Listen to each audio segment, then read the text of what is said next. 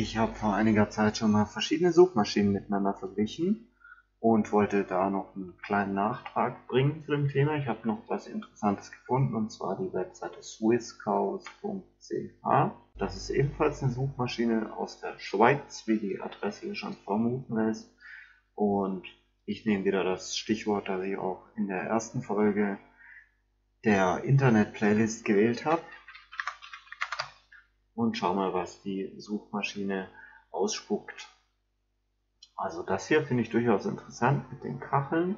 Die sieht man ja auch auf der Startseite. Hier sind irgendwie trendige Themen, nehme ich an. Ich weiß nicht, nach welchem äh, Algorithmus das hier sortiert wird. Familiengerecht, keine Überwachung, keine Datenspeicherung. Donald Trump, wir können natürlich auch andere Beispiele nehmen. Und dann kriegen wir hier vernünftige Suchergebnisse. Fängt mal an mit Wikipedia, Twitter, Spiegel Online, dann gibt es Amazon-Produkte. Ich nehme an, dass die Webseite so Geld verdient. Und hier sehen wir in Partnership with Bing. Aha. Gut, aber das mit den Tags hier, mit den Stichworten gefällt mir ziemlich gut. Und um wieder zu unserem Beispiel äh, von vorhin zu kommen, wir können das ja mal direkt miteinander vergleichen. Also die Lemo-Biografie, dann gibt es hier Videos bei Bing, englische Wikipedia, Witze, News, Welt, Welt. Und hier ist das einfach ein bisschen anders sortiert. Ah ne, auch Lemo, Planet Wissen, Spiegel, Amazon, Produkte und dann kommt hier auch die Welt, Bilder. Ja, also es sind sehr ähnliche Suchergebnisse, bisschen anders sortiert. Ich finde es aber, wie gesagt, vom Design her ganz gut, vor allem mit diesen Querverweisen hier. Es gibt auch eine Bildersuchmaschine, eine Videosuchmaschine, im Übrigen nicht nur YouTube, sondern auch Instagram durchsucht. Äh, Shopping, ja, hier sind wieder verschiedene Amazon-Produkte verlinkt. Musik finde ich durchaus auch ein interessantes Feature und dann gibt es noch einen Übersetzer, ist powered by Yandex. Interessante Suchmaschine, swisschaos.ch. Dann haben wir noch eine andere Suchmaschine, die heißt Fastbot. Gucken, was die so ausspuckt im Vergleich. Spiegel.de als erster Treffer. Weiß jetzt nicht, wie aktuell das ist. Anonym öffnen. Und das ist nicht gerade aktuell. Das ist wieder eine relativ merkwürdige Sortierung.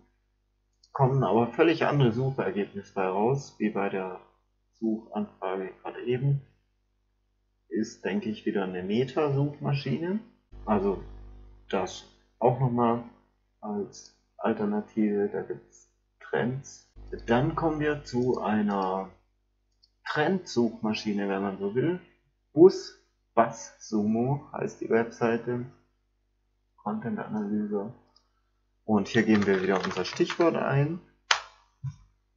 Und dann stellen wir fest, dass diese Suchmaschine hier eher die sozialen Netzwerke durchsucht. Also wir sehen hier verschiedene Einträge auf Englisch. Und hier sehen wir, wie die sozialen Engagements zu dem Thema sind bei Facebook, Twitter, Pinterest, Reddit. Und äh, hier gibt es Backlinks, die im Web zur Thematik gefunden werden. Durchaus auch interessantes Thema, vielleicht nicht der ähm, interessanteste Suchbegriff, aber anscheinend sind die auch nur die Basisfunktion kostenlos und für alles andere muss man sich dann anmelden. Aber sicher praktisches, interessantes Tool. Trending Now in News. Wir können hier noch verschiedene Zeiten eingrenzen, sowie auch Sprachen. Interessant und dann bekommen wir wieder völlig andere Suchergebnisse. Content Research, Influencers, oh, Daily Limit erreicht. Was bedeutet das? Das macht mich schon wieder fertig, aber immerhin, man kann innerhalb eines gewissen Rahmens jeden Tag das Ding benutzen. Und zu guter Letzt stelle ich euch noch den Board Reader vor. Google konnte ja bis vor einiger Zeit, hatte eine extra Funktion, um halt Foren zu durchsuchen. Und irgendwie gibt es die Funktion nicht mehr. Und deswegen müssen wir jetzt auf was anderes zurückgreifen. Wenn man Internetforen durchsuchen möchte, und in dem Fall nehmen wir wieder unser eben schon benutztes Stichwort. Und hier werden jetzt eben ausschließlich Foren im Internet durchsucht. durchaus praktisch, wenn man zum Beispiel zu einem Hardware-Thema oder so was wissen möchte. Also ich denke, das sind alles sehr nützliche Tools, mal von Fastbot abgesehen, das ist einfach eine Alternative zu den größeren Suchmaschinen und das Ganze nur noch als, nur noch als kleiner Nachtrag zum Video Suchmaschinen im Vergleich. Und wenn man hier auf den Button klickt, dann bekommt man noch äh, eine Info dazu, wann dieses Thema besonders populär macht. Dann zeige ich euch heute noch einen kleinen, ziemlich schnellen Browser, den ich im Internet entdeckt habe. Falcon heißt er. Das ist der ehemalige Cookzilla Browser. Der ist ziemlich gut und ihr seht hier auch ziemlich schlicht ähm, die üblichen Einstellungen, die man auch kennt von Firefox, Chrome und so weiter. Hier kann man den individualisieren, sich zum Beispiel Lesezeichen ein- oder ausblenden lassen. Es gibt einen Verlauf logischerweise, man kann suchen, Lesezeichen bearbeiten, vergrößern und verkleinern. Das Ganze basiert auf Qt. Wer nicht weiß, was das ist, äh, ähm, KDE ist ein Linux-Desktop, der basiert da auch drauf. Der ist relativ äh, kompakt hier in der portablen Version entpackt. Gerade mal 200 Megabyte groß. Zum Vergleich, Mozilla ist 321 Megabyte groß. Ja, der ist nicht so überfrachtet mit unnötigen Features. Funktioniert einwandfrei. Kann sogar meine Webseite richtig darstellen. Alles da, wo es sein soll. Äh, dann schauen wir mal in die Internetarchive rein. Da gibt es bekanntermaßen Spiele äh, aus vergangenen Tagen, zum Beispiel klassische PC-Games, etwa Doom.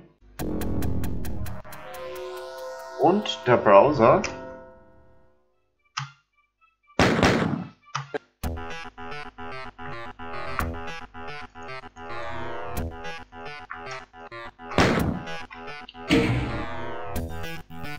Der Browser lädt das einwandfrei, das spricht für den Browser, der ist, äh, glaube ich, ziemlich gut.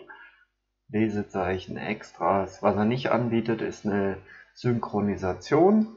Ich finde das vielleicht gar nicht so schlecht. Rechtschreibprüfung, Privatsphäre.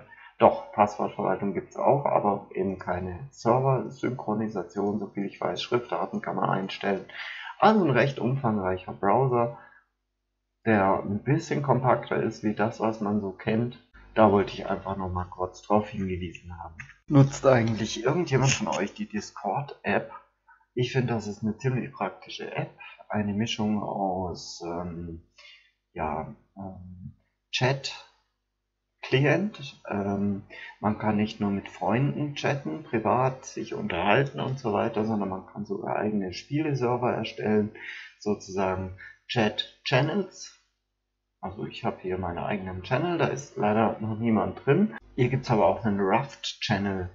Ähm, hier sind ganz viele Leute drin, unter anderem auch die Entwickler von Raft. Und hier gibt es News und äh, Ankündigungen und so weiter. Verschiedene Kanäle für verschiedene Spiele, die ich aktuell spiele. Gleichzeitig ist das Ganze aber auch Teamspeak gibt, glaube ich, ein Overlay, so dass man sich in Spielen anzeigen lassen kann, welche Freunde gerade online sind und wer auf dem eigenen Server ist und mit wem man sich eigentlich unterhält. So eine Mischung aus Skype und Teamspeak und äh, insgesamt recht gelungen und vor allem ist das Ganze auch plattformunabhängig. Ihr seht hier die, die auf meinem Rechner installierte App. Es gibt aber auch äh, eine App, die komplett im Browser abläuft. Das heißt, man kann eigentlich von jedem Betriebssystem das äh, einen Browser hat, ähm, auf Discord zugreifen. Ziemlich schicke Sache. Was jetzt ganz neu ist, es gibt jetzt ähm, einen Shop, der hier in inklusive ist, den Store, genau, also erstmal über die Bibliothek. Discord kann die meisten deiner Spiele anzeigen und starten, egal wo du sie her hast. Spiele importieren habe ich bisher noch nicht gemacht, könnte ich aber machen. Und dann gibt es noch einen Store, wo es jetzt einige exklusive Titel zu kaufen gibt. Das ist eine Entwicklung, die mir nicht ganz so gut gefällt. Was mir wahnsinnig gut gefällt, ist, dass die Spiele halt, die man eher auf dem Rechner hat, halt hier in, in das äh, Dings mit eingebunden werden und auch Freunde und so weiter. Was mir nicht gefällt, ist, dass hier gleichzeitig Steam Konkurrenz gemacht wird. Es gibt ja inzwischen so viele Anbieter, EA, äh, Origin, dann äh, gibt es den Xbox Store, wo Spiele angeboten werden. Es gibt Steam und ähm, ja klar, jeder Hersteller will da sein eigenes Süppchen kochen. Ich als Verbraucher finde das nicht ganz so praktisch. Ich habe die meisten Spiele bei Steam und überlege mir sehr genau, ähm, was ich ansonsten für Spiele kaufe und wo, vor allem weil ich eben keine 10 Spiele Download und Bibliothekenclients und so weiter auf meinem PC haben möchte. Wie auch immer, falls ihr Discord zum Chatten verwendet, könnt ihr natürlich gerne auch mal meinem Kanal beitreten. Wenn da was los ist, dann passiert da vielleicht in Zukunft auch mehr. Und zwar erreicht ihr meinen Channel, indem ihr auf meiner Webseite auf Kontakt klickt und dann hier den Discord-Link.